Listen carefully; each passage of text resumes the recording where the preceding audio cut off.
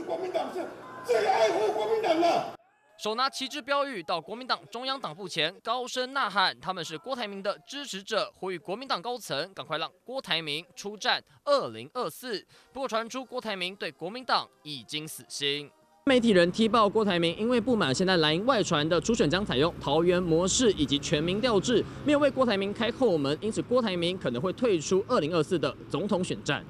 回不了国民党，会不会转头频频招手的民众党来个郭科配？同样传出郭科配已经破局，但郭台铭心灰意冷下，蓝营口中的整合非绿联盟恐怕也会大破局。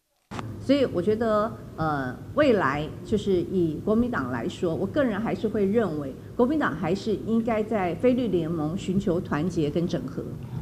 一个设局的方式啦，啊，设套的方式，要郭董往里面跳的话，我想以郭董的性格，他不会接受这样子的一种一种所谓的安排啦。至少到目前为止，因为他没有任何党籍的羁绊，所以他是一个明年参选的自由人。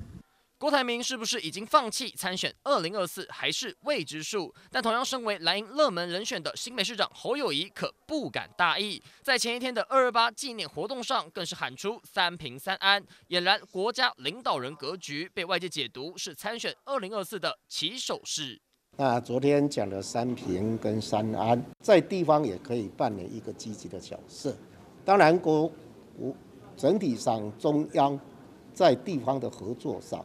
更应该朝向这一个方式来做进行。